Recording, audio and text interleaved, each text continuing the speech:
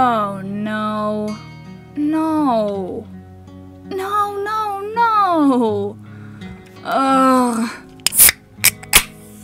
Well, I have to talk about this. This video is not meant to send hate or aggression towards the creators of the account. It's merely meant to criticize and educate people who don't see why this is wrong. Please don't attack people and be good.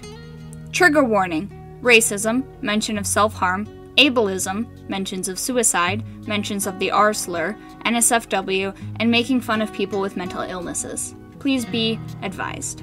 Hello, everybody. My name is Gnomehuts, and we're going to talk about the project that is using people with mental disorders to get clout and popularity, and it's gross. So let's talk about it. Tales from the DSM is a Twitter account with 200 plus followers and was created in January of 2021, and it's already causing problems, and it's only been up for like two months. How? Well, they decided to turn mental illness into cute gijinkas that are stereotypes of the mental illnesses that they're supposed to represent. It's gross and weird, and it bothered me enough to want to talk about it because it's just so strange. Like, what causes someone to do this? I have no idea. But it turns out that not only are they taking advantage of these mental illnesses, but also incredibly ableist and allow racism and ableism to run rampant in their Discord server. Oh, and also they encourage you to ship the disorders together, and I. I don't know, guys. It's weird. So, first, let's look at the designs themselves. From left to right, I'll look at the characters and explain each disorder and the designs themselves. Please correct me if I get any information wrong. I'm trying to be as respectful as possible. I don't have any of these disorders myself. I'm just taking what people have said about it that do have the disorders and their opinions on it. So if I say anything incorrect or you feel free to dis- like feel free to disagree if you want to in the comments. This is an open discussion. I want to know what you guys think. First is STPD. STPD, or schizotypal personality disorder, is a personality disorder that makes you act in ways that people without STPD may find strange or weird, and has symptoms like lack of emotion or inappropriate emotional responses, extreme social anxiety, and some paranoia as well. So, the design itself is interesting, to say the least. Personally, I don't like her color palette, but the thing that bothers me the most is that they made her look like she's not like other girls. She's squirky, which is weird considering the symptoms of STPD. It's not a cute disorder and can actually lead to living a lonely life, and it shouldn't be drawn as someone who's cute and quirky. I also just don't like this design either. The color palette looks weird on this character. Next is SPD, or Sensory Processing Disorder. It's a disorder that leads someone to being overly sensitive to feelings, touch, smell, hearing, tasting, etc., and some symptoms can be overreaction to certain stimuli, and in some severe cases, things like being touched can lead to screaming, sounds can cause vomiting, crying, or hiding. Kids that are diagnosed with this often have a hard time adapting to change around them and have a hard time interacting with other children. As far as this design goes, most people with SPD are actually children and teens, though some adults have it as well, so this character looking like adult feels incorrect to me, since it's more common for a child to have this disorder than an adult. The next one is PPD, or Paranoid Personality Disorder, which is characterized by, well, paranoia. Some symptoms of PPD are believing others are out to get them or harm them, doubting people's loyalty, and detaching oneself from other people. There's not much to say about the design other than they took a disorder that's debilitating and turned it soft and cute, which, no, maybe don't do that. It's weird. That's weird to do. The next one is ASPD, or Antisocial Personality Disorder, or sometimes called sociopathy. And it is a disorder where a person struggles to show or can't show the ability to tell right from wrong. They're usually stereotyped as villains or murderers, etc., because of this. And they made a design where ASPD looks like a murderer or a villain. Well, they may not have intended it, his fangs, his red eyes, and his red color palette and everything just makes him seem like he's supposed to be a villain, which is an awful stereotype and actually incredibly harmful. I like the design, but not under the context that he is supposed to be ASPD. Bad move. The next one is HPD, or histrionic personality disorder, that is a disorder that is typically classified as dramatic, erratic, or emotional.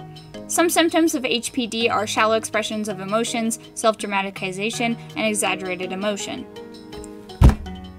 Why the fuck did they decide to sexualize her? Yes, some people with HPD can be sexual, but that does not mean you have to dress her up like that. Her skirt is incredibly short, short, and her dress is incredibly low cut. Typically, I don't mind designs like this.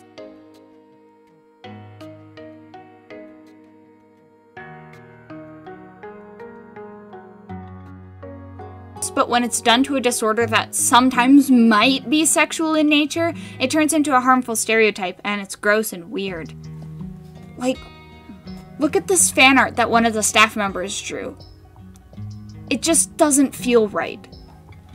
The next one is the most controversial one BPD or bipolar personality disorder. It's a disorder that impacts the way you think about yourself or others, and some symptoms can include an intense fear of abandonment, intense paranoia, or suicidal thoughts in anticipation of rejections. I think I'm gonna let the comments on BPD explain why she's problematic.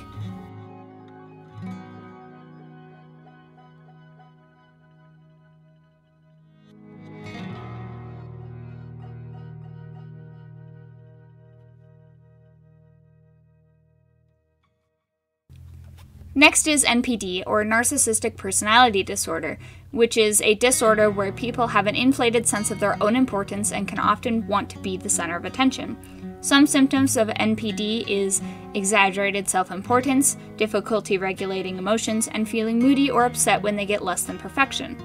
Despite the way stereotypes would have you believe, a lot of people with NPD don't actually present themselves as better than anyone.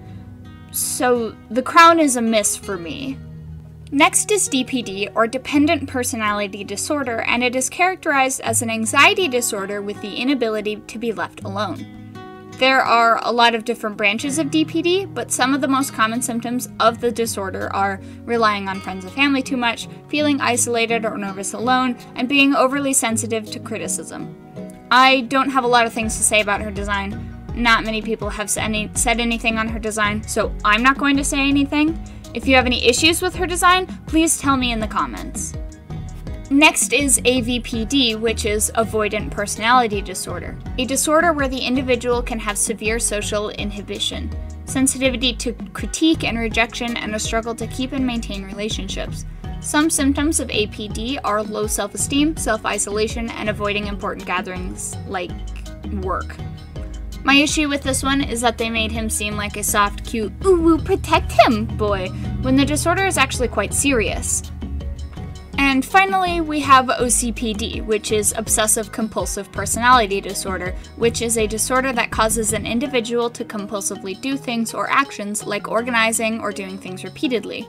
Some symptoms of OCPD are rigid following of moral and ethical codes, an extreme devotion to work, and sometimes even hoarding behaviors. This design is one that is arguably one of the most stereotypical. A lot of people assume that if you have OCPD, your hair is perfect, your clothes are neat, etc. They often share the same stereotype that, quote, nerds share, which simply isn't true. The biggest issue that all of these designs share is that the artists tried to take disorders that are massive and vastly different in symptoms and ended up boiling them down to stereotypes because that's how a lot of people see these disorders. In reality, you can't do something like this with disorders that are so complex. These illnesses deserve the utmost care and respect when being represented, and some of these designs in particular need severe overhauling. So, obviously, this pissed a lot of people off, so how did the account respond to this? Well, simply, they posted and reblogged images like this which shows that they're aware of people's issues with the account and have thus continued to brush them off and continue to do what they do, despite the fact that they now know that it's problematic and hurting a lot of people with these disorders. Not only that, but they've posted these memes which further push the stereotypes of these disorders. The BPD one is particularly bad. I think it's interesting that instead of them rethinking their idea, they could be easily reworked to not be problematic. They're instead pushing back and continuing what they're doing and exposing other creators to their trash fire, knowing that they would inevitably get hate. But their Twitter isn't the only thing that's awful, their Discord is even worse. There's a lot of gross shit on their Discord, so I'm just gonna go down the list. One of the people on the DSM team is Angie, who is something, that's for sure. They've said things like this Bro, PPDs are clinically usually racist. Which is an awful statement to make. Like, what the fuck? Okay, sure. Not true at all? Is being racist a criteria to have PPD? Or is it just a coincidence? Or, like, what led you to getting to this conclusion? Sorry, bitches who make suicide jokes and block their friends aren't sexy. Oh, good, so you don't like people with BPD on principle then. Yet again, using a stereotype of BPD.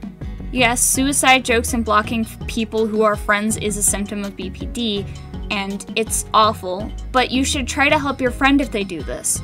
Also, not all people with BPD do this, so Angie saying something like this further pushes the harmful stereotype on a group of people who sometimes do it, but not usually. Capitalizing on negative attention is my favorite thing in the world. Further proof to show that the DSM team really doesn't care about the disorders they're talking about. They just want to, as Angie said, capitalize on negative attention to get clout from people who are hurting. Classy. Angie, racist and ableist, pick a struggle. I will be both if it means I get to believe what I believe. Angie straight up admitting that they're racist and ableist. Hmm. Maybe not a good take for someone who's working with an account that is using characters who have neurodivergency. Talking about how they're going to make DID a harmful character of a dissociative identity disorder. Weird take, but okay, dude. They claim that they removed Angie as a staff member. Quote, in light of recent racist comments that came to light, we have removed Angie from the TDSM staff. Which, at first sounds awesome, like good, they got someone, they got rid of someone being problematic. However, when looking at this tweet though, it's clear that they only removed Angie because people were leaking the screenshots of what they were saying in the chat. Quote, that came to light. Unquote. That means that if these screenshots hadn't been released, they wouldn't have removed Angie as a staff member. It's also clear that they don't care because of certain other members saying awful things in chat and them not doing anything about it to monitor it. Moving on from Angie, did you know that the creators encourage shipping and NSFW of the Gijinkas? Let me remind you, mental disorders? Yup! Here is a screenshot of some of the roles in the Discord server, including some shipping tags and simp tags. Shipping mental disorders is disgusting because it downplays and romanticizes how severe these disorders can be and makes it soft and fluffy. That's just not okay. Here's a screenshot of a now deleted post from the Twitter itself. And here are a bunch of screenshots of people asking if they can draw NSFW or showing there's an NSFW channel in the Discord. Oh, by the way, some children managed to get into the NSFW channel, and the mod's reaction to this was to blame the children and insult them.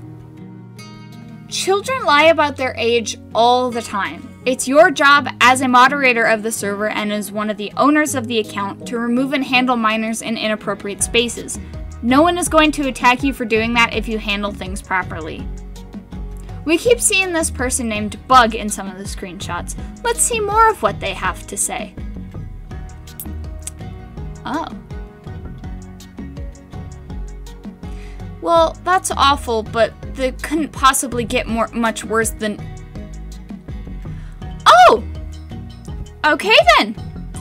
I did some research into who Bug was and I found this post, which talks about how Bug is actually an active member of r slash DID cringe, which is a subreddit made to make fun of people with dissociative identity disorder. Fun. Nathaniel is another person in the Discord, and I'm not sure if they're a staff member or just someone who chats there, but they are never regulated, saying things like this, this, this, which isn't true and just misinformation. And as you've seen already, their various usage of the R slur, which is a word that is used to discriminate and put down people with mental disorders. People with mental disorders are able to reclaim it, however, the way Nathaniel uses it is derogatory, again in these examples. And using it derogatorily is not reclaiming it, that's just further using it as a weapon And some other members in the server use it as well, like here. And Beyond Perfection. Yes, I'm going to talk about the things they've said too. So, yeah, it seems like the staff and members of the DSM are real great people. But Gnome, what if they also have mental disorders? Yeah, what if? Having mental disorders doesn't excuse you from awful things you've done or said to or about people. Having mental disorders means that you have to be extra aware of these things that you're saying and hold yourself accountable. It's not that hard to hold yourself accountable when you've done things that are less than polite to the people around you.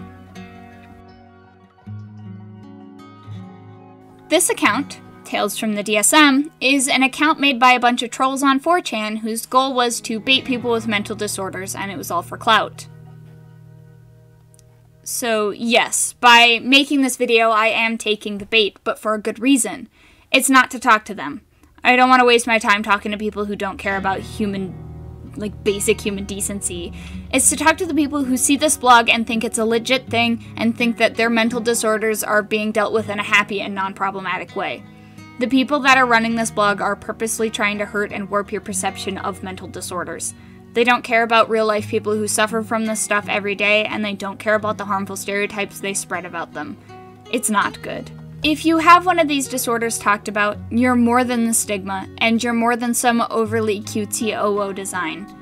You're valid, and you deserve happiness. This account is gross, and it's not funny, and it's harmful. They hide behind the title of trolling and baiting when they're really just trying to give an excuse to their ableist behavior. But how could something like this be done in a way that isn't absolutely awful? So let's pretend that they aren't baiting. How could you do something like this without it being absolutely problematic? Easy. Their main fault with this is that they're making designs that are supposed to be exactly like the disorders, which are, frankly, too vast to fit into one character without boiling it down to stereotypes. There's too many people with too many different ways of dealing with their disorders with too many different, like, symptoms. The best way to go about something like this is instead of making the disorder into a person, make the person first and then give them the disorder. For example, the BPD design is immediately so much better when instead of her being the embodiment of BPD, but instead say Roxy, a girl who happens to have BPD, and this is how she deals with the disorder. Obviously, she'd still need some serious reworking, but it's already so much better than how it is originally. I understand that the blog has stated, quote, we would like to state that our disorder characters are not meant to represent the individual experience of anyone or meant to represent anyone with a certain disorder. They are based off the DSM criteria of each disorder, and we recognize that many people don't fit all those. But regardless, it gives that impression when you say that it is the disorder if they were a person. It makes it seem like the ultimate representation of a disorder, and it's impossible to do that with how vast a lot of these disorders are. Someone said this why the mental disorder jinkas are harmful even if people with those disorders okay them. No one singular person speaks for the majority. As someone with BPD, I was appalled by the characterization of BPD in the character art in which Tales from the DSM seems to have been portrayed. And I think that's important to keep in mind. Nobody fits in a perfect box. There's a lot I didn't cover in this video, like how the main artist for DSM is an Alastor from Hazbin Hotel fan who draws country human Nazi NSFW and stuff like that. But it didn't really fit the video, so I couldn't find a place to put it really. Just know that they did that, and it's weird. And I had to see it, and it was awful. Good art, awful context. Anyway, thank you guys for watching. Please take care of yourself. Make sure to drink your meds and take your water. The drawing in the background today was my OC Chariot. A lot of you may remember Tenor, the character that was my intro for a while and some of the thumbnails. Well, he went through a bit of a redesign. I outgrew him and wanted a character that represented me more, so that's Chariot, who goes by predominantly they, them. If you like this art or this video, please feel free to describe to describe me. Describe me in the comments. No, I'm joking. Subscribe to me. Turn on the notification bell so you know when I upload next. But also you can follow me on any of my other social medias. I have a Tumblr and a Twitter that I post art on too. Those will be linked down below. If you like this video and you're new here, just, you know, leave a comment. Talk about the video with me. I want to talk about this with people. I think it's important. Um, I don't post often, but I try. Let me know what you guys thought about this, whether you agree, disagree, and I'll talk to you guys soon.